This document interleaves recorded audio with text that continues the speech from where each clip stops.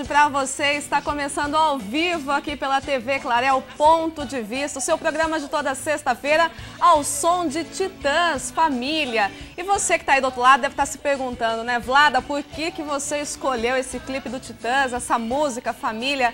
para estar tá abrindo o programa de hoje, né? Então, gente, eu vou explicar para você nada mais, nada menos, porque nosso tema de hoje aqui no Ponto de Vista é família, né? Essa música fez muito sucesso nos anos 80 aí ao som do Titãs, só que muita coisa mudou, o conceito de família mudou muito nos últimos tempos, aí nos últimos anos, né? Desde 80, muita coisa, muita água rolou. E é sobre isso que a gente vai estar tá falando hoje aqui, sobre os diversos tipos da família. Hoje tem família só com mãe, família só com pai, família que só com tia, tem gente que avô e vó que é o chefe da família. E dizem que quem é cuidado para essas pessoas é mais mimado. A gente vai descobrir daqui a pouquinho aqui no programa. Tem família com mamãe e mamãe, família com papai e papai. Então tem família de todo tipo de jeito hoje em dia. Então você que está aí do outro lado, fique com a gente. Você, a família que está nos assistindo hoje, acompanhe o nosso programa, que hoje o assunto é voltado exatamente para todo mundo. Todo mundo tem interesse sobre isso. Então você pode participar com a gente. O nosso, a gente está no Facebook aqui, hoje eu estou com o computador aqui, a gente vai poder, você vai poder mandar a sua opinião, mande o seu recadinho para a gente, vou mandar beijo durante o programa. Tem o nosso e-mail também, ponto de vista, arroba tvclaré.com.br e a gente está no Facebook também, grupo Ponto de Vista, mande o seu recadinho, tá certo? Bom, eu vou apresentar meus convidados de hoje, ao som de família do Titãs.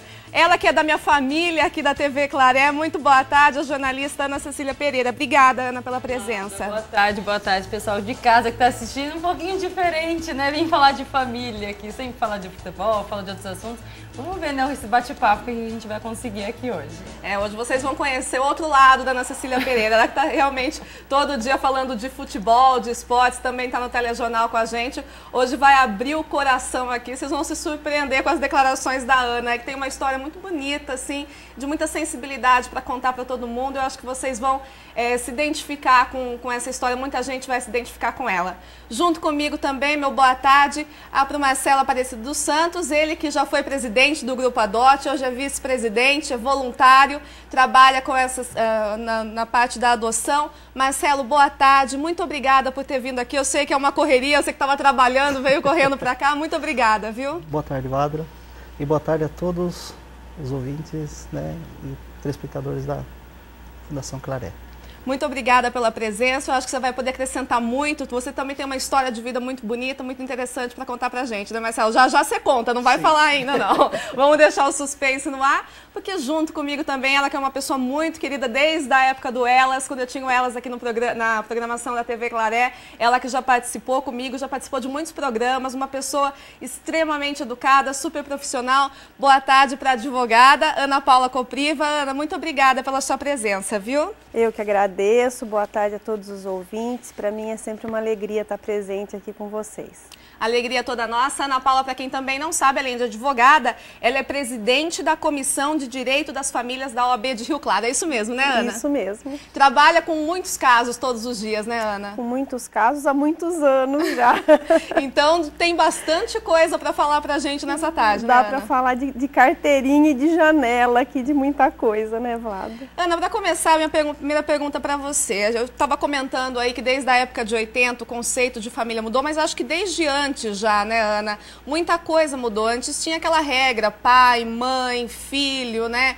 Vovó, era tudo junto, era aquela hierarquia dentro de casa. Hoje em dia, né, Ana, já se desfez um pouco isso, né? Se desfez tudo praticamente. São poucas as famílias assim ainda, né? Tradicionais é. mesmo, né, Ana? Isso, na verdade, um pouco antes de 80, isso já vinha mudando, né? Já vinha sofrendo algumas alterações e a mulher vem ocupando um espaço diferente dentro da família.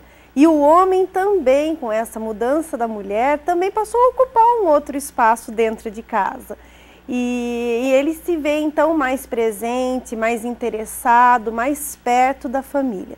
Com a Constituição de 1988, que iguala os direitos de homem e mulher, que iguala os, os direitos dos filhos, os filhos não podem mais uh, ser diferenciados perante a lei, né? que reconhece a união estável como entidade familiar, assim como todas as outras formas de família é, dos pais e os seus descendentes. Então, o direito começa a mudar o seu olhar para um outro tipo de família e para olhar a família sobre a ótica do afeto. Tem afeto, tem interesse de vida em comum, então nós temos que voltar a um olhar como família. Então vem mudando e muda cada vez mais, porque cada vez mais muda o tipo de família, né? Uhum. Cada hora tem uma novidade que é preciso ser regulamentada e reconhecida. Muito bem. Por falar em tipo de família, vamos saber que tipo é a família do Marcelo que está aqui com a gente. Marcelo, conta um pouquinho da sua história, como que é formada a sua família? A família minha é formada com biologicamente correto, né?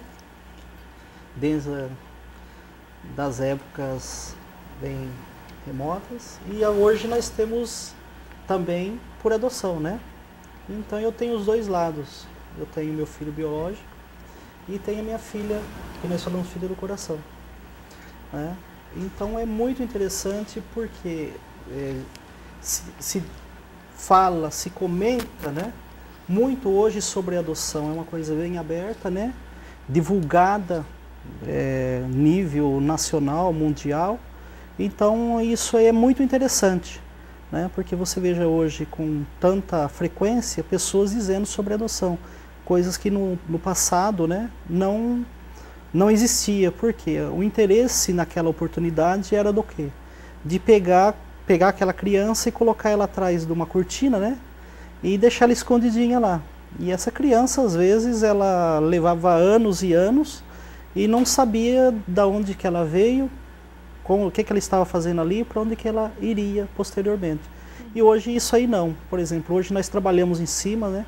O grupo de apoio à adoção, o ADOT, que é um é pioneiro, né? No termo, no que se diz adoção, há mais de 20 anos trabalhando com a adoção, pessoas voluntárias, né? É, assim que era, que era funcionário, nós só temos só tinha um funcionário, os demais eram todo voluntário, pai por adoção, pessoas que simpatiza com a adoção. Então é muito interessante isso aí, né? E, e, o mais interessante de tudo é quando você fala para o teu filho, fala para a tua filha, você é adotivo, você é adotiva, você está aqui no seio familiar, né? Porque não teve condições de você permanecer na sua família biológica, e você pode expressar isso, passar isso para a criança. Que hoje é um direito da criança. Ela você saber, já fez isso, já com, com, isso. com a sua filha? Já fiz isso com minha filha, já levei a minha filha para conhecer a família biológica dela. Ah, então já já você vai contar, a gente vai deixar na expectativa que eu também estou curiosa para saber dessa história. Você vai me contar como é tudo isso daí, porque eu também eu quero saber um pouquinho agora. Na verdade, eu já sei que eu convivo com ela diariamente, né? Mas na verdade, gente, para quem vê a Ana Cecília na, te na, televisão, ela é uma pessoa super despojada, uma mulher super alegre. É, só que ela é muito reservada no dia a dia dela. Às vezes ela pega a gente com umas surpresas aqui que vocês não acreditam. Por que tudo isso, Ana? Boa tarde, bem-vinda novamente. Olha, Vlada, é difícil a gente falar, né? Família é um assunto delicado, acho que todo mundo sabe. Mas é, é só por, por ser reservado um pouquinho, a gente não precisa, né? Tá, dividir tanto assim. Mas a minha história é um pouquinho diferente e ao mesmo tempo um pouco igual também. Eu, eu tive a família tradicional, né? Pai, mãe, do, é, uma irmã morava em São Paulo até a gente na época e mudei para cá, para Rio Claro. Desde que eu mudei para cá, eu já passei a morar com meus avós. Então já era um pouquinho diferente. E aí, desenvolver né, da, das situações, meus pais se separaram e uh, foi uma opção deles me deixar morando com meus avós. Então, eu, minha irmã, a gente mora com os nossos avós desde que eu tinha uns seis anos. E cada um seguiu o seu caminho. Eu acho que a vida é assim mesmo, não pode parar, ah, não deu certo o casamento, o que, que eu vou fazer? Não, os dois são casados novamente, foram casados de novo. A minha mãe teve uma, uma outra filha segundo casamento, hoje tem 16 anos já. E o meu pai tem dois, dois filhos, um casal que é adotado. Eles são pequenininhos ainda, têm 11, 9 anos. E é essa mistura toda. No fim, minha família é muito grande e cada um tem a sua ramificação um pouco menorzinha, né? Mas é essa mistura toda, é vô, é vó, é tio, é tia e os pequenininhos juntos também. E diante de tudo isso, Ana, que você cresceu diante de todos esses acontecimentos, assim, como que você vê a família, como que você quer constituir uma família futuramente? Eu, eu falo assim que eu nem espero muita coisa mais. A gente não pode esperar o tradicional. Acho que assim, eu não, não, eu não vou falar que eu vou ter um marido e vou ter dois filhos, três filhos. Eu acho que a gente já pode esperar de tudo um pouco, já é misturado. Eu penso um dia ter filhos e ter a minha avó junto com a gente. Se Deus quiser, ela vai estar aqui para ver isso, né? Então eu penso em misturar tudo isso porque foi muito importante. Eu acho que é, todo mundo sabe, né? A mulher tem um filho, a mãe dela vai ajudar a criar né, essa criança. Então tem essa influência. E eu acho que é super importante o, papel de um avô, uma avó, um tio ou uma tia. Não só para a gente, para ajudar a gente, mas pela criança mesmo. Esse contato familiar eu acho excelente. Hoje em dia as pessoas não, não tratam a família com tanto respeito mais. É, é, é, muito difícil você falar, ah, não, eu vou passar um tempo com a minha família, eu vou passar o um final de semana em casa. Não, é muito difícil. Eu vejo, eu gosto tanto de ficar com a minha família, com meus irmãos, com meus avós, com meus tios, e eu não vejo mais muita gente ser assim, gostar tanto de ficar em casa. Isso até eu acho um pouco, fico, fico até chateada quando eu ouço certas coisas. Uhum. Mas eu, eu penso que uma família vai ser tradicional, mas eu já não espero que seja assim. Eu fico, ai meu Deus, tem que ser assim. Não, eu já espero de tudo um pouco, tudo misturado. Você gostaria que tivesse sido diferente de alguma forma? Ou em algum momento você chegou a pensar isso já? Eu acho que é automático, né? Quando tudo acontece, a gente para, a gente tenta falar, nossa, por quê? Mas não, eu aceitei muito, eu sempre lidei muito, muito bem com, com as mudanças. Eu acho que isso foi. Eu tirei de letra, eu falo hoje, né? Mas na época eu lembro como foi difícil. Eu frequentei psicólogo, é, é muito. É muito difícil. Você pega assim, você pega de surpresa, mas você aprende muito com isso também. Então hoje eu acho assim, não, não tinha que ser diferente, tinha que ser do jeito que foi. Uhum. Acho Ana, que acho que a Ana quer comentar alguma coisa sobre isso, né, Ana? Como que você vê tudo isso daí? Olha, eu acho fundamental que a gente deixe de falar de família tradicional, né? Eu ainda acredito e acho que é o caminho, a melhor forma de, de fazer com que as pessoas se entendam, se, se deem bem, é no seio de uma família com afeto, com amor, com carinho e não necessariamente da família pai e mãe. Eu acho que como a Ana Cecília está dizendo, Marcela, é puxa vida, né? A gente precisa ter carinho. Tanto que quando se falou, começou a se falar em adoção por casais homoafetivos, o critério primeiro foi esse, é que a criança vivesse eh, em um lugar que fosse tirada dos abrigos e fosse para um lar onde ela tivesse afeto, carinho, atenção, mais do que bens materiais, porque no direito moderno não se olha mais para o bem material, se olha para quem tem melhores condições de criar essa criança. E as melhores condições estão aí no carinho, na acolhida, no amor. Como é que você vai receber essa criança? Muita gente ainda tem preconceito né, com as famílias desfeitas. Eu acredito que em muito, uma parte boa dos casos, para os filhos, às vezes é melhor que tenha sido assim do que ter visto essa família se desentender, esses pais se digladiarem e tal mas a família ainda é e eu acredito que vai continuar sendo, seja ela da forma como for constituída, o melhor lugar para uma criança, para uma pessoa se desenvolver e ter os seus melhores referenciais. Não, não tem outro lugar. Diante disso que você falou, Ana Paula, até mesmo da questão do, do ambiente familiar, de que forma que essa criança vai, vai, vai ser criada ali dentro, vai receber o amor, eu separei um vídeo e até calhou bem com o que você falou agora sobre esse amor, quem vai ter condições de, de dar isso para os filhos, que foi um caso que, que chocou o Brasil todo e eu separei algumas imagens, a gente vai relembrar junto, vocês também vão relembrar com a gente. Esse caso aconteceu em 2006, é, em Belo Horizonte, e chamou muito a atenção da mídia e a gente vai relembrar agora. Você gata. Não é, não é neném? Opa, é uma criança.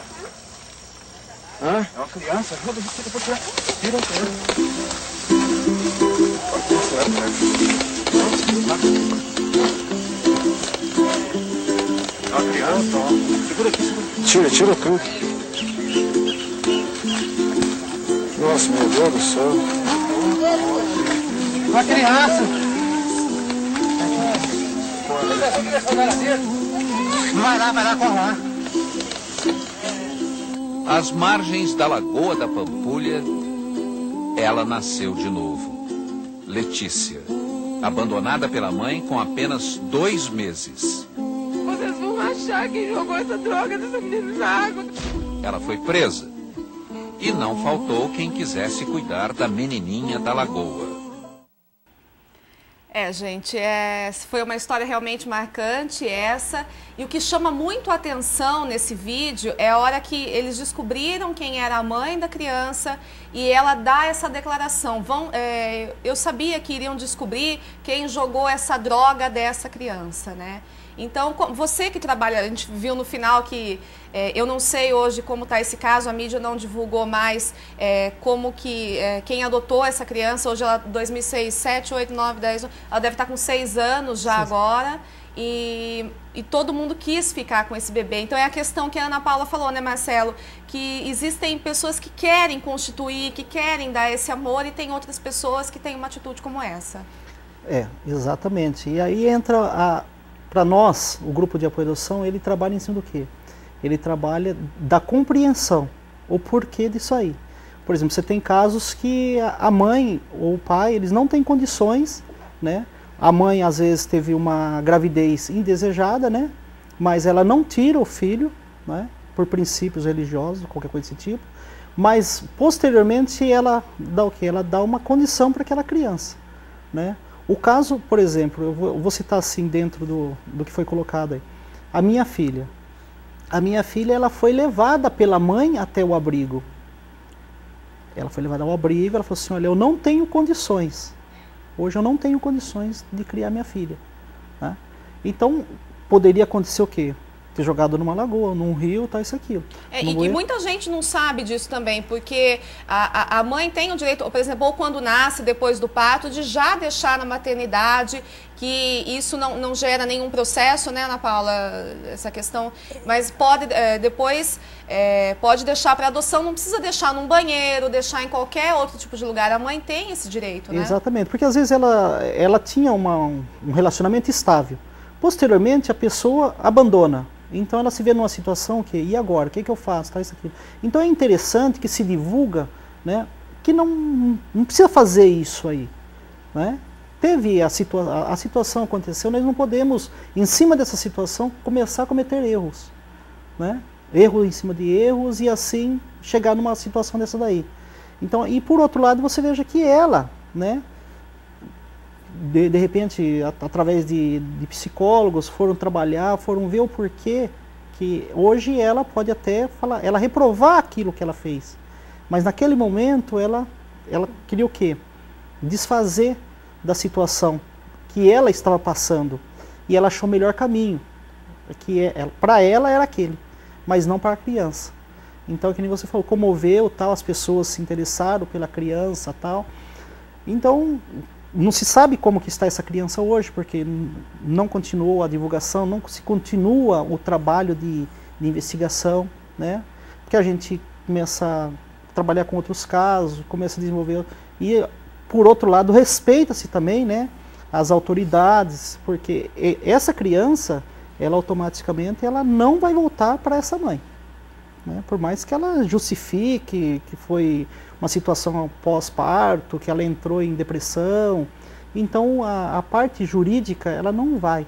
Ela pode até procurar uma, alguém da família que se interessar, né? porque tem tudo um trâmite. Não é assim, você pegou a criança, já leva, você abriga e você pega, já procura a família para adotar essa criança. Você tem todo um caminho que o Poder Judiciário trabalha em cima, que é a destituição de pátrio poder, né? E tem todo, procura-se avós, procura-se tios, procura-se irmãos, e o, o, pai, porque às vezes não, o pai não sabe da situação, porque às vezes ela escondeu essa gravidez, ela escondeu essa gravidez da família, ela escondeu dos amigos. Então tem toda uma gama de coisa que o grupo de apoio à adoção, o, o Marcelo não reprova. O que, que nós fazemos? Nós trabalhamos em cima, nós, nós vamos ver qual que é a situação, porque existem muito mitos, né? Que ah, nós, a pessoa fez isso aí, ela é, é, não. Então nós vamos ver isso aí, por isso nós trabalhamos com voluntários na parte de, de direito, advogados, nós temos psicólogos, temos assistentes sociais, que frequentam o grupo de apoio à adoção, que faz esse trabalho. Uhum. Né? Então é na onde uh, a gente quebra muitos mitos. Quando você começa a participar dentro da, do que se diz adoção e dentro do que é formar família, você muda completamente o seu conceito. Uhum. Né, da, de dizer assim, já no primeiro instante, falar, criticar esses negócios todos. Muito bem. Marcelo, daqui a pouquinho você vai continuar conversando com a gente, você fica com a gente até o final do programa, porque eu quero saber como que foi esse contato, né? Como que você contou e foi esse encontro da, da sua filha adotiva com, com, os pais biológicos. Eu quero saber também da Ana Cecília se os irmãos adotivos dela também conhecem os pais biológicos. E a Ana Paula Copriva também, que está aqui com a gente, ela vai daqui a pouquinho falar um pouquinho mais sobre responsabilidade dentro da família, alienação parental, uh, pais que se separam, pais que não se preocupam muito com isso. Daqui a pouquinho ela vai falar mais disso, porque a gente vai para um rápido intervalo. Você continua com a gente, estamos ao vivo aqui pela TV Claré TV Cultura. Um rápido intervalo, ponto de vista, volta já.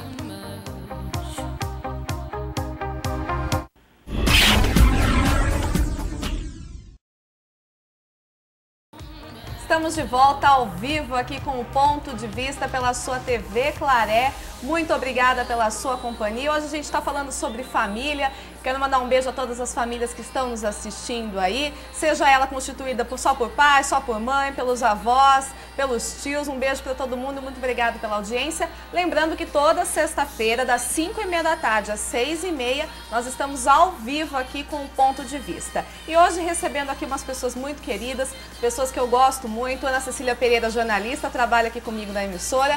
Marcelo dos Santos, ele que é vice-presidente hoje do Grupo Adote. E Ana Paula Copriva, advogada advogada e ela também é, é, presidente da Comissão dos Direitos da Família. Ana Paula, você que falou pouquinho no primeiro bloco, eu queria que você fizesse assim um, um parecer maior sobre a questão da responsabilidade. O que, que o que, que falta para as famílias hoje em termos de responsabilidade? O que, que elas devem é, ter de consciência para poder lidar no âmbito familiar? Olha, quando, uh, como a gente começou a falar no primeiro bloco, o direito vem mudando e vem acompanhando essa mudança da nossa sociedade. Né? O reconhecimento necessário destas novas famílias vem se fazendo e o direito vai mudando junto com isso. Mas nós não podemos perder de vista que hoje a maior parte das famílias acabam muito rápido ou, sem nenhum tipo de responsabilidade, porque elas também acabam se formando assim. As famílias se formam sem que ninguém pense, sem que ninguém converse, como caíram todos os tabus. Né? Hoje não é mais um tabu a relação sexual anterior ao casamento, não é mais um tabu morar junto com alguém, se separar. Uh, quando a gente pensa numa mulher que se separava em 1970, ela era estigmatizada. Em 80 isso já melhorou, mas ainda estava lá o estigma da mulher separada, ela é separada, da mãe solteira. Hoje nada disso mais tem esse estigma, esse peso. Então as pessoas começam a morar juntas e a formar família sem nenhum tipo de responsabilidade, sem conversa, sem namoro, é, sem conhecer, sem ter certeza de que é repente, aquilo vamos mesmo ter um que filho, quer. Vamos juntar e vamos pois ter um é, filho. Pois é, ter um filho. Hoje as mulheres casam mais tarde. A maioria das mulheres hoje vai casar depois dos 25, 28, 30. E aí começa a dar um desespero. Mas começa a dar desespero, precisa ter filho. Mas quem, quem que colocou prazo de validade? Não é? Quer dizer, a hora, qual é a hora certa? A hora certa é a hora que você está pronta, a hora certa é a hora que você tem alguém legal do seu lado, que vai assumir essa paternidade, que vai assumir essa criança junto com você, que vai dar para essa criança um lar. Mas infelizmente as pessoas não pensam mais nisso. É não que a gente tenha que dizer que, por exemplo, acabou o amor, que tem que continuar junto, né, não. Ana? Mas precisa ter um, um planejamento de tudo isso. Precisa ter responsabilidade. Né? Quer dizer, se a gente colocar, trocar hoje com a lei nova do divórcio, Uh, não é preciso mais justificar prazo, motivo, culpa, nada para se divorciar. Se você casou ontem e daqui uma semana quer se separar ou divorciar, melhor dizendo, tá feito. Ninguém vai te perguntar por quê ou vai te culpar por isso. Mas uh, as pessoas esquecem que elas têm uh, várias responsabilidades. Então, ao invés de ficar discutindo a culpa, essa é a proposta da lei que instituiu o novo divórcio, essas novas, essas novas regras para o divórcio. É, muita gente não entendeu isso, mas é exatamente trocar a culpa pela responsabilidade. Para de ficar brigando, a culpa foi sua, a culpa foi minha pelo fim do casamento ou do relacionamento. Né? Vamos pensar em responsabilidade. Então, o pai que tem responsabilidade, ele sabe quanto ele gastava por mês para manter a família dele. O juiz não precisa dizer isso para ele, porque essas necessidades, ainda que cada um agora numa casa, elas vão continuar. Não é porque se separou que o filho vai comer menos, vai estudar menos, vai ter, usar menos roupa. Todas as necessidades dessa criança permanecem com os pais juntos ou separados. Então, se esse pai tem responsabilidade, ninguém precisa dizer para ele que ele precisa pagar pensão. Ele vai lá e paga. Se essa mãe tem responsabilidade, ela sabe que ela precisa fazer de tudo para que esses filhos convivam com o pai.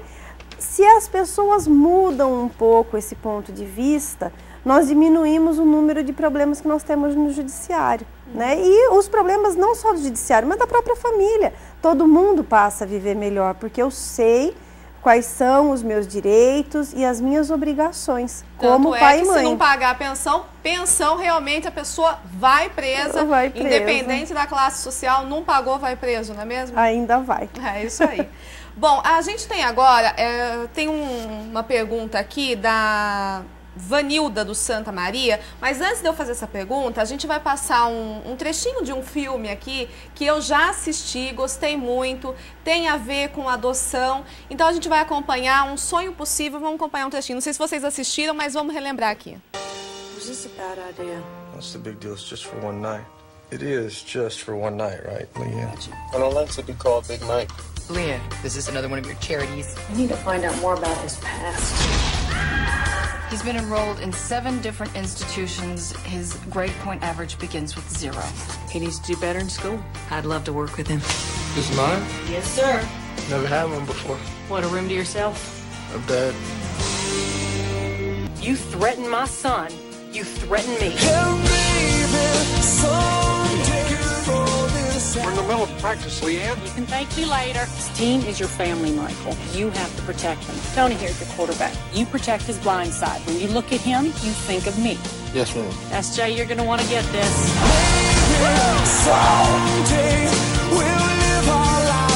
Mike's the best left tackle I've seen in years.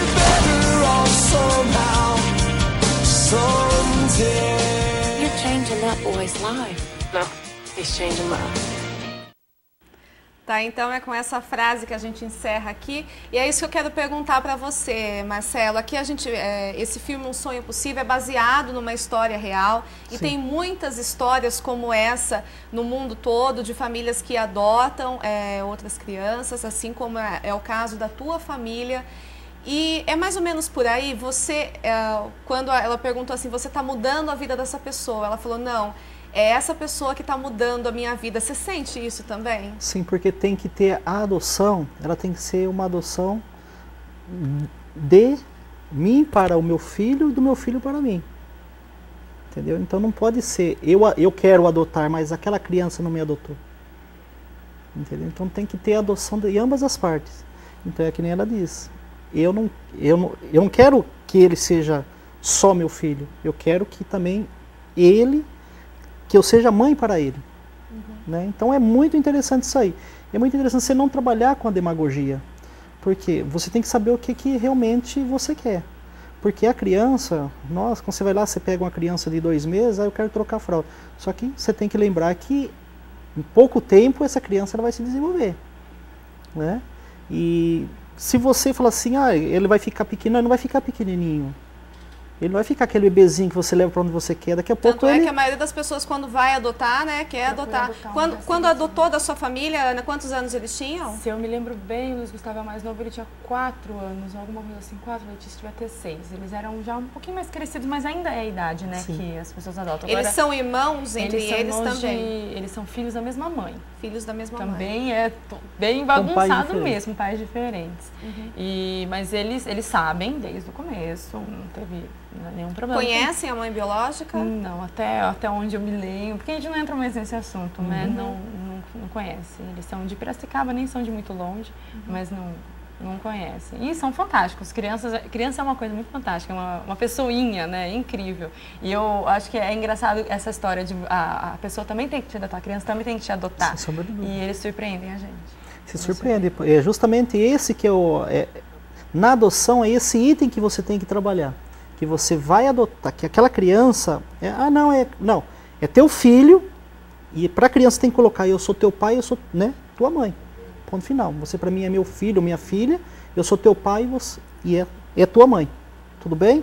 E deixar bem claro, não adianta você esconder, porque um belo dia, numa festinha de aniversário, aquele priminho, né? Aquele primo chato, né? Que n- nós colocamos, ele chega e fala assim, nossa, como que você está parecido com teu pai? Se fosse filho, não parecia tanto, né?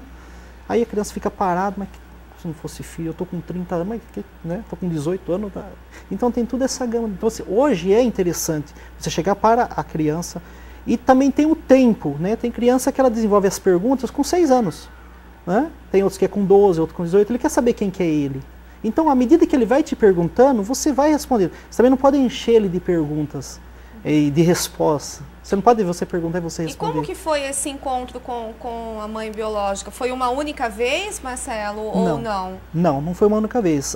Na primeira vez, a minha filha ela tinha muito surto, né? Ela acordava de madrugada chamando, tal, isso, aquilo. E nós preocupados, ela acordava gritando, tal. E nós começamos a trabalhar isso aí, através do grupo de apoio à adoção, que nem eu comentei, psicólogo, nós perguntávamos, então os psicólogos falavam assim, olha, espera um momento, ela vai chegar uma hora que ela vai fazer uma pergunta, vocês respondem essa pergunta.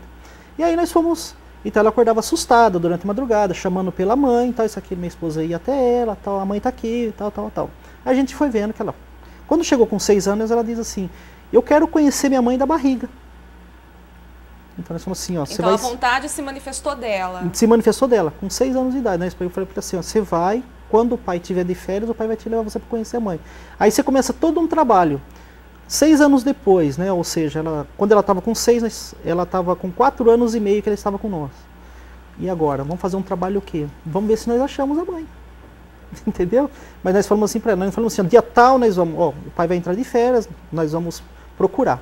Tá bem? Tudo bem. Aí um dia, um belo dia, pegamos ela, colocamos no carro com o meu filho e com alguns parentes tal, e fomos para a cidade dela.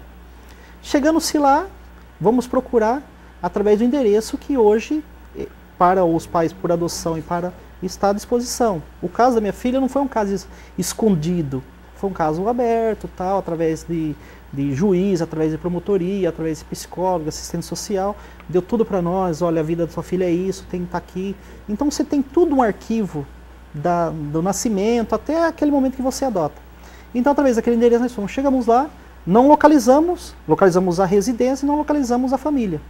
Aí o seu coração começa um pouquinho a apertar, né? Porque você quer, mas você não, não fo- nós não fomos na casa com ela, deixamos ela um pouco distante.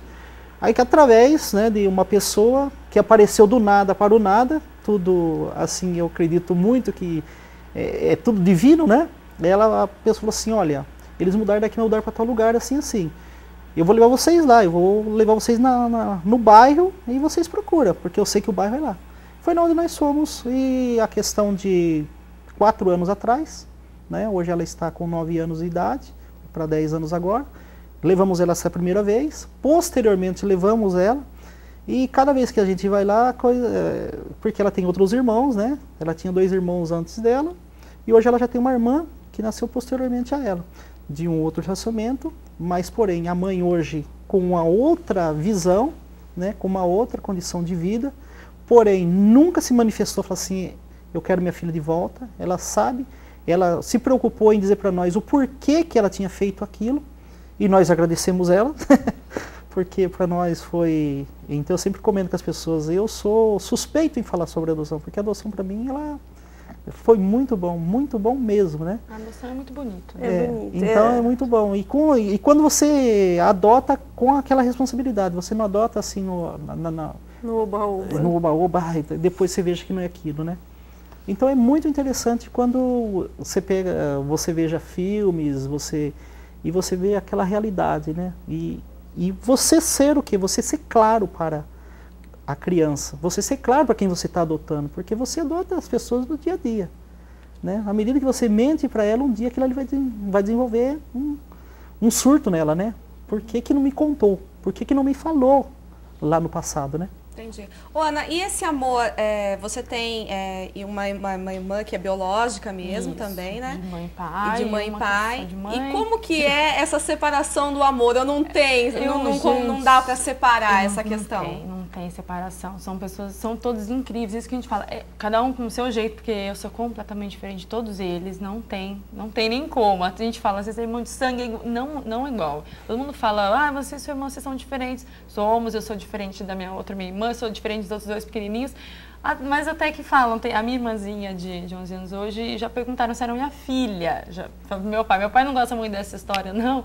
Mas já aconteceu isso, porque a gente é, acaba ficando parecida, né? O jeitinho, a ver. Eu já ouvi falar isso comprido. também, já que às vezes a Vai se adotivos, a- a- parecendo. começa a se Começa. parecer com, com a Sim, família. sim. É, engraça, é engraçado demais, mas não tem separação, não tem nem como, é a mesma convivência, aquele contato, as histórias, você começa a criar histórias juntos. Então eu acho que não tem como dividir, é, é, é irmão, é a mesma coisa, não muda, não muda. Agora, desde quando você se mudou pra cá, você é criada pelos avós. E dizem que quem é criado pelos avós, como eu citei no começo do programa aqui, é bem mi- mimado, assim, né? Como que é isso daí?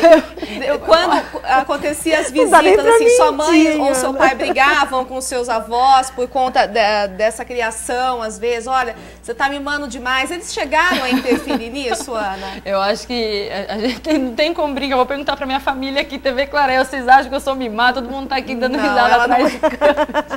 Mas é, é coisa incrível, gente, é, morar né, com vô e com vó. Eu acho que é- tem os dois lados. É muito mais mimado, mas também é muito mais cobrado. Tem- eu vejo um relacionamento meu com meu avô, ele espera muito de mim, muito mais do que eu acho dos mais novos. Uma, tem uma, uma priminha minha que ele já não, não fica tão em cima como foi comigo. Tava debaixo ali da, na casa e correndo pra lá pra cá desde que eu sou pequenininha, então acho que é, muda um pouquinho. Mas não, eu não me vejo como mimada. Eu vejo assim, eles deixam fazer muita coisa. Eu lembro de mesa assim de almoço, de ah não, pode ter, você pode comer, pode pegar, o que, que você quer, é sempre assim. E vovó faz um pouquinho a mais do que o pai e mãe. E quando a gente cresce que a gente vai aprender, né? Hoje eu falo, ó, a, a, falo de uma irmã minha, falo assim, ah, tá muito mimada, a a culpa é de vocês, mas eu não falo de mim, né? Eu não, né? Quase nada, né? Mas é um pouquinho diferente, sim, não tem como falar que não é. Ô Ana, já para quem tem as famílias formadas pai, mãe, é, filho, como que você vê essa questão da responsabilidade? O vô, a avó, o tio, as outras pessoas, cunhado, eles têm esse direito, eles podem estar se, eh, tá se intrometendo nessa educação, no que está acontecendo dentro da casa da pessoa, para quem tem a família formada, constituída mesmo. Como que é essa questão da responsabilidade nesse caso? Ou a responsabilidade se deve a pai e mãe? Olha, a gente precisa separar em alguns departamentos isso, né? Ah, eu entendo que a família, seja lá como for constituída, tem que por ela mesma se resolver. Ninguém tem que dar palpite, ninguém tem que dar opinião. Quando muito, quando uma coisa muito errada está acontecendo, mas se aquele casal, aquelas pessoas, aquele núcleo familiar se entende, Ninguém tem que dar opinião e nem palpite de ordem alguma. Eu acho que a família tem que por ela mesma se resolver, porque daí também as pessoas vão pensando e repensando nas suas responsabilidades. Muito embora tenha gente que acha que dando palpite está ajudando, uh, na maior parte dos casos, muito mais atrapalha do que ajuda. Né? As pessoas precisam ir se entendendo por elas mesmas e crescendo assim. Uh, com relação aos direitos de, de, todos que estão nesse núcleo familiar, hoje é regulamentado por lei o direito dos avós em verem os netos e terem os netos em sua companhia, porque a gente sabe, não cabe aqui nenhum tipo de, de hipocrisia, dos problemas que existem é, entre genro e sogros, nora e sogros. E quando tem a separação, se já vem um problema entre marido e mulher, que me dirá com o restante da família. Tem gente que não, que o problema é com o marido ou a mulher, mas com o resto da família é, é até melhor ou dá muito mais certo. Mas, no mais das vezes, o que a gente vê é que a separação acaba acontecendo também com relação aos avós. E isso está errado porque a gente precisa olhar para a criança. A criança tem direito de conviver, mais do que os avós terem direito de estar com esses netos, ah, a, criança tem direito de se manter na convivência, né, de continuar convivendo com os avós e com todo o restante da família, que é a família dela também. Dos dois lados ela tem família. Né? Uh, então, esses avós hoje têm direito regulamentado por lei e eu honestamente acredito que se os tios e o restante da família se veem privados da companhia né, desse ente querido, eu acredito que eles têm todo o direito de tentar sim uma regulamentação disso, por que não? Eles têm direito e, e mais do que eles é a criança é, que tem esse direito, uhum. né? Eu ouvindo aqui agora a história de vocês, eu também fui um pouco criada pela minha, pela minha avó, porque ah, a minha avó morava com a gente. E numa dessa a gente tem os mimos, né, Ana? Nossa. E tem também os puxões de orelha. Eu falo que a educação, a, as broncas também vinham muito da minha avó. Né? E meu irmão brincava muito com a minha mãe e falava: Olha, mãe, se você quiser saber o quanto a gente vai ficar triste o dia que a gente morrer, você vê quando que você morrer, como é que a gente vai se comportar quando a vovó faltar, né? Porque ela era a nossa mãe, a nossa segunda mãe, uma pessoa assim queridíssima e para a gente era também importante ter, né? Então era também um núcleo familiar diferente com a avó junto desde que eu tinha, sei lá, quatro, seis anos, ela estava lá. Isso, é, pra, eu acredito que para minha formação moral e do meu irmão, foi fundamental, os valores que ela, ela agregou para a nossa família. É, eu, eu sei, é. é. fundamental cada um, né, Vlada? Você também, você não falou do seu lado, mas o seu É, eu também, porque a Ana tá falando isso, Ana, porque eu também fui criada uh, com a minha avó, minha avó sempre morou comigo, continua morando, ela tem 95 anos hoje, né? É uma linda, e né? É, é uma, uma delícia. Assim, é uma base para mim, sabe? Eu sei que eu devo a ela muito do que eu sou é um hoje. outro porque referencial, é, não é? Porque ela Junto tem uma, uma, postura muito diferente das coisas. Ela vê a, a, vida de uma forma muito positiva, sempre foi muito calma, sempre estava ali para estender a mão, né? Então, é, e, e é fundamental, comigo. mãe, pai, vovó. Eu fico assim até irritada quando eu vejo situações, casos de pais que se separam, que a mãe não quer que as crianças saiam muito com o pai. Ah, não, é só um dia e volta para casa. Eu acho que é um, um contato é. que não tem. Aí entra essa questão da responsabilidade, é, né, pai, Ana? Quer dizer, no, no pequenininho, na né? criança, né? né? Você qualquer um sente falta. Você tem que procurar uma justiça para ver é, quantas vezes você é vai querer o filho, você não po poder é. ver o filho. Hoje... Você não poder, por exemplo, olha, pegar o carro, olha, deixa eu ir lá visitar o meu filho, porque ou minha filha, porque eu tô com vontade de ver, né? Você tem que uma a justiça tem que determinar um horário e um dia da semana para você poder ver a criança, é, você né? sabe como é que as pessoas hoje, isso também vem de uma ótica muito moderna do direito. É quando às vezes dentro do próprio escritório eu digo para o cliente, falo, escuta, é, você chamou o juiz quando você escolheu essa pessoa para viver? Você, você foi me chamar? Falou, olha, o que, que você acha de eu me casar, de juntar ou ter um filho com essa pessoa? Ninguém perguntou nada e fez como quis, não foi assim? Vocês, por vocês mesmos, se entenderam e resolveram assim. Por que é que agora eu, como advogada, ou o juiz lá do gabinete dele, vai ter que decidir como é que a sua família vai se entender? Né? Você não sabe quanto custa criar um filho, você, mãe, não sabe que ele tem que ver o filho. Por que, que um, vários terceiros, né, terceiros, quartos, vão agora chegar e dizer como é que você vai criar seu filho, como é que a sua família vai andar? Quer dizer, cadê a sua maturidade, cadê a sua responsabilidade? É. Somos nós que temos que resolver a nossa vida, porque o juiz, quando decide, via de regra, não agrada nenhum nem outro. Eu sempre digo que num processo judicial não tem vencedor. Esse mito precisa cair, todo mundo perde, porque o que a gente passa numa ação judicial é triste, é triste. Eu procuro evitar ao máximo que se chegue a isso sem um acordo, porque o que as pessoas sofrem, é, toda a mágoa que, é, é, que, que, se vira, os rancores postos à mesa, isso não faz bem para ninguém e não resolve o problema. E a sentença judicial muitas vezes não vai resolver o problema, porque o que gerou esse problema continua lá latente. É mais fácil que as pessoas se entendam elas se entendem, buscam então um auxílio jurídico para saber a melhor forma de regulamentar isso e as coisas vão se resolvendo de uma forma muito mais tranquila. Muito bem.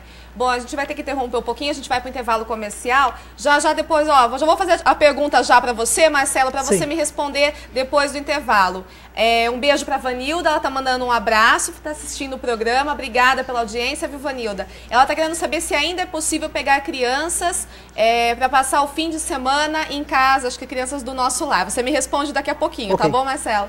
A gente vai para um rápido intervalo. Continue comigo, a gente está ao vivo aqui na TV Claré, ponto de vista, volta já a cada indivíduo. Geral.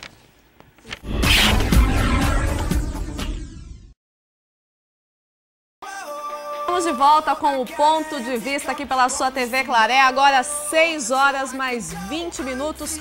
Muito boa noite para você que está aí acompanhando a programação regional da TV Cultura. Hoje a gente está aqui falando sobre família, sobre os diversos tipos da família brasileira. E para isso eu estou recebendo a jornalista Ana Cecília Pereira, Marcelo dos Santos, vice-presidente do Grupo Adote, e Ana Paula Copriva, ela que é presidente da Comissão de Direitos da Família. Bom, gente, toda sexta-feira a gente tem aqui no nosso programa o Renato Marafon, ele que é editor-chefe do Cine Pop. E só que essa semana ele não está aqui porque ele foi viajar para os Estados Unidos e vem com novidades fresquinhas do cinema pra gente. Vamos conferir o que ele preparou?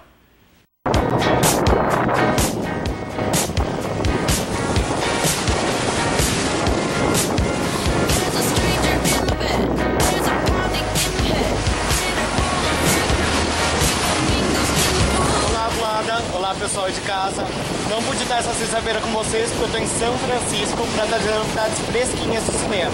O que eu acabei de mostrar para vocês agora é a cidade e o fundo, a ponte Golden Gate, onde são filmadas várias produções do cinema, como Grandes Marcados, a origem e entrevista com um vampiro. A cidade é linda, a ponte é linda e tudo aqui é muito cinematográfico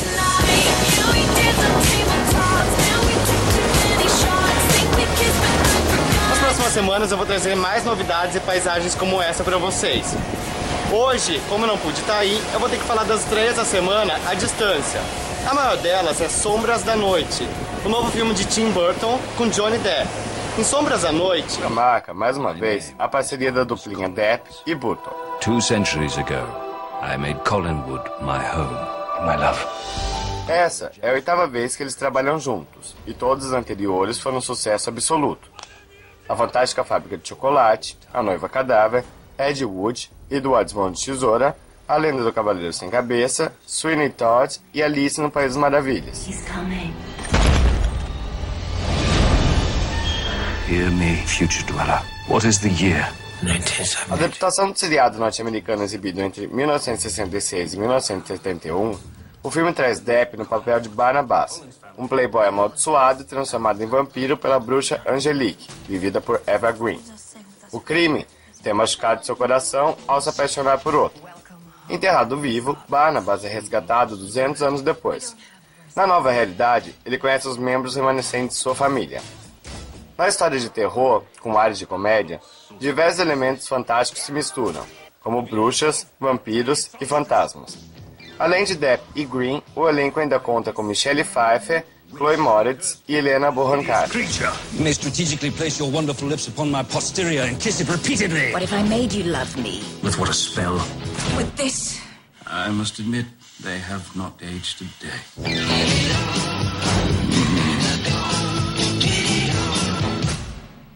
She for real? Indeed. Nas próximas semanas eu tô de volta pro Brasil com novidades fresquinhas de cinema. Fiquem ligados. Até lá.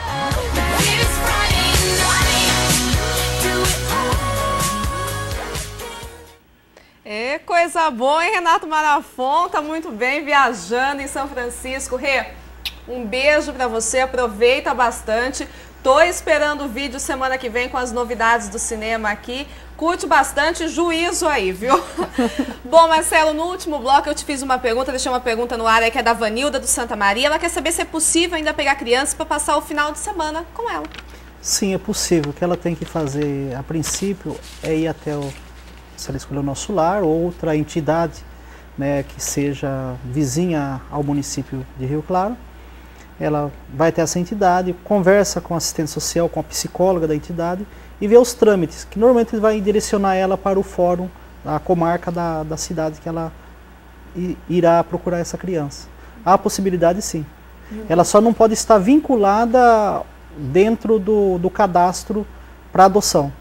Porque senão cria-se um vínculo de buscar a criança, levar e trazer. Então, essa é a preocupação hoje. Por isso que nós direcionamos para que a pessoa procura a, a psicóloga, assistente social ou até o fórum da comarca da cidade dela. E o mais legal desse tipo de, de ação, nesse tipo de ato, é que a criança não está esperando muita coisa, ela quer atenção. A maioria delas Só quer atenção. É atenção, é brincar, é conversar um pouquinho, né? Você não precisa exagerar também. Isso não, não há necessidade. Você, você pega essa criança, você leva ela, você traz ela para o seu ser familiar. Você não precisa criar um mundo mágico para ela. Sendo que no, na, na segunda-feira ou no domingo à tarde você vai devolver essa criança e ela. Não, você traz ela para o ser familiar, mostra para ela o que é uma família as problemáticas de uma família, a, o lado benéfico, o lado maléfico que a gente nós falamos no dia a dia, né? Porque nada, tudo, às vezes, olha, eu vou trazer ela aqui, vou fazer tudo do bom, do melhor, que não, ela sabe que não é que assim, não é essa não é assim, então, do dia -dia, né? exatamente. Né? Então você tem que colocar para ela que ali ela tem o lado bom e o lado ruim também de uma família, uhum. que família também tem um lado ruim e um lado bom. Isso aí você tem que deixar bem explícito para ela, porque a criança ela quer o quê? Ela quer verificar, porque no dia a dia dela, ela tá ali tal, é, é um mundo muito frio para ela. Porque ela sabe que no final do, do, do dia ela vai pro, pro, pro alojamentinho dela lá, vai ficar com as demais tal. Ela sabe que tudo que ela tem não é só dela, ela tem que dividir. Então, isso aí a criança ela sabe de tudo. O que ela precisa o quê? Saber que dentro, que uma família, ela tem o pai, tem a mãe, que nós estávamos discutindo aqui que ela pode ter o, o pai e o pai, né? A mãe e a mãe, porque dentro do eu dela, ela, ela sabe que a, o papel feminino é de mãe e o papel masculino é de pai.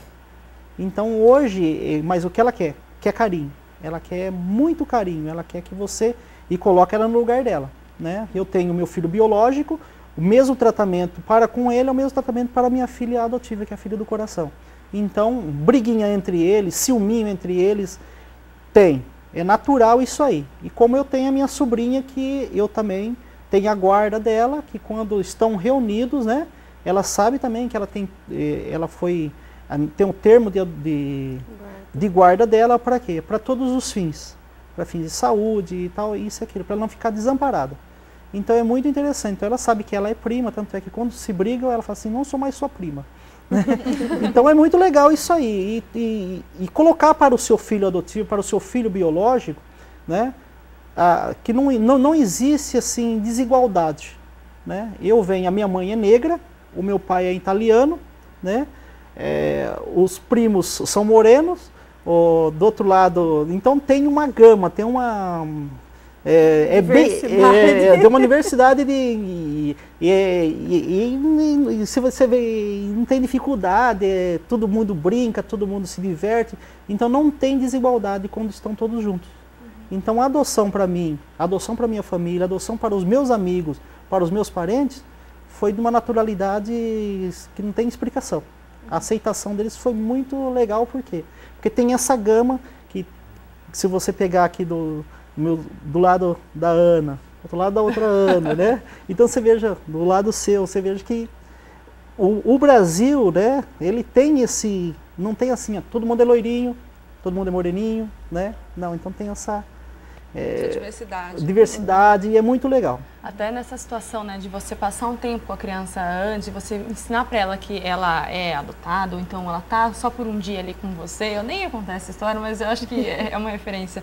No começo, né, na fase de adaptação ainda dos meus irmãos, meu pai conta que chegou um dia que a minha irmãzinha, ela sentou no sofá, chamou o, o meu pai e minha madrasta, sentou e falou assim, olha aqui, vocês já levaram a gente em festa, vocês já levaram a gente para passear, a gente já fez de tudo um pouco, quero saber, eu vou morar com vocês ou não, eu vou ficar ou eu não vou. Então eles sabem, eles não estão ali, né? Ai, o que, que tá Não estão, eles sabem muito bem. E é ótimo que eles saibam, né? Que eles aceitem Sim, essa situação toda. Muito bem, a gente está chegando ao final do nosso bate-papo. Já deram sinal ali para mim, que a gente está falando demais. Todo o programa, toda sexta-feira, essa mesma coisa. Mas, Ana Paula, olha, eu quero, primeiro de tudo, agradecer você.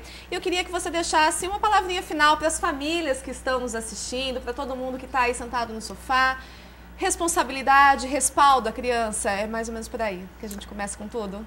É, eu, eu quero também agradecer. Para mim é sempre uma alegria muito grande estar aqui. Eu sempre fui muito bem recebida nessa casa. Venho aqui muito, muito alegre, muito feliz. É um prazer enorme estar falando é, para os nossos ouvintes. Então, sempre que vocês precisarem de mim, eu estou às ordens, porque eu adoro vir aqui. E o meu recado para as famílias é que, seja lá qual for a sua constituição, que ela venha sempre com amor, porque o amor, o respeito, a responsabilidade, muito embora às vezes você não goste mais do seu parceiro, da sua parceira, que não tenha mais esse amor que faz com que vocês fiquem juntos, se o respeito permanecer e a responsabilidade, as coisas continuam se encaminhando, principalmente quando tem os filhos. Não existe ex-filho, existe ex-marido, ex-mulher, ex-companheiro, mas ex-filho não tem filho é para sempre, né? Tem uma história que diz que ter um filho é como fazer uma tatuagem no rosto, não tem mais como você se desvencilhar disso, dessa verdade. Então, que cada um olhe para a sua tatuagem sempre com amor, com carinho, com respeito, que respeite a vida a integridade dessa criança e que respeite o seu par também, se houver respeito e responsabilidade, eu acredito que as nossas crianças, as nossas famílias sempre vão estar bem. Tá certo. Então fica o recado para todo mundo aí, você que tem se separou da sua esposa, do seu marido aí, tem um filho, cuide bem dessa criança, deixem os problemas de lado, né, Ana Paula? E bola para frente, que a criança tá aí para ser cuidada. Recebeu muito amor e carinho. Isso. Marcelo, muito obrigado. Seu recadinho final rapidinho, que o pessoal já tá dando sinal ali para mim, a gente tem pouquíssimo tempo. Você que é pai adotivo, conte a verdade pro seu filho, faça conhecer a família biológica, é mais ou menos isso? Sem sombra de dúvida. E não é porque às vezes você não consegue ter um filho biologicamente dizendo que você não pode ser feliz. Tem muita criança que precisa de um pai e de uma mãe e muitos pais e mães que precisam de um filho. Tá certo. Ana Cecília Pereira, muito obrigada. Até amanhã que a gente vai se ver Adorei. aqui. Adorei. Seu recadinho final. Apesar das, do, dos problemas, é. de todas as vezes, dá para ser feliz na família, dá, dá para superar to, tudo e continuar vivendo a vida Gente, família é importante demais. Valorize cada pedacinho da sua, mesmo que ela seja bagunçada desse jeito. É muito importante valorizar uh, o que a gente tem dentro de casa. Adorei participar, Vlada. Pode me convidar para falar de futebol, de outro assunto, que eu tô, eu tô adorando participar aqui hoje, viu? E um beijo para os pequenininhos que estão assistindo.